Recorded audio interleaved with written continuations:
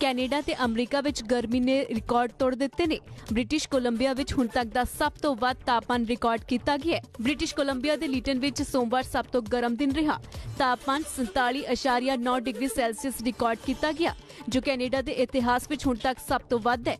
ਗਰਮੀ ਨੇ ਪਿਛਲੇ 84 ਸਾਲ ਦਾ ਰਿਕਾਰਡ ਤੋੜ ਦਿੱਤਾ ਹੈ। ਜੁਲਾਈ 1937 ਵਿੱਚ ਸਸਕੈਚਵਨ ਵਿੱਚ 45 ਡਿਗਰੀ ਸੈਲਸੀਅਸ ਰਿਕਾਰਡ ਕੀਤਾ ਗਿਆ ਸੀ। ਤੇ ਇਸ ਦੇ ਨਾਲ ਹੀ 1941 ਵਿੱਚ ਬ੍ਰਿਟਿਸ਼ ਕੋਲੰਬੀਆ ਦੇ ਲੀਟਨ ਵਿੱਚ 44.4 ਡਿਗਰੀ ਸੈਲਸੀਅਸ ਰਿਕਾਰਡ ਕੀਤਾ ਗਿਆ ਸੀ। ਮੌਸਮ ਵਿਭਾਗ ਨੇ ਦੂਜੇ ਸੂਬਿਆਂ ਵਿੱਚ ਵੀ ਹੀਟ ਵੇਵ ਆਉਣ ਦੀ ਚੇਤਾਵਨੀ ਦਿੱਤੀ ਹੈ।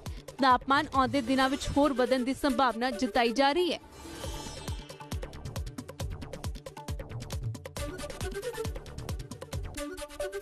ਗੱਲਾਂ ਕਈ ਹੁੰਦੀਆਂ ਨੇ।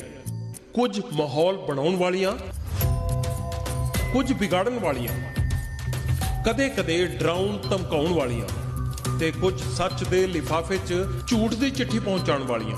ਉਨ੍ਹਾਂ ਪਤਾ ਲੱਗਣਾ ਚਾਹੀਏ ਕਿ ਮੇਰਾ ਨੇਤਾ ਕਿਹਦਾ ਹੋਗਾ ਅਜਿਹੀਆਂ ਗੱਲਾਂ ਹੁਣ ਹੋਰ ਨਹੀਂ ਕਿਉਂਕਿ ਆ ਰਿਹਾ ਹੈ ਸਾਫ਼ ਸਿੱਧੀਆਂ ਤੇ ਸੱਚੀਆਂ ਗੱਲਾਂ ਦਾ ਪਹਿਲਾ ਸ਼ੋਅ ਮੁਕਤੀ ਕਲ ਮੇਰੇ ਯਾਨੀ ਜਗਵਿੰਦਰ ਪਟਿਆਲ ਦੇ ਨਾਲ।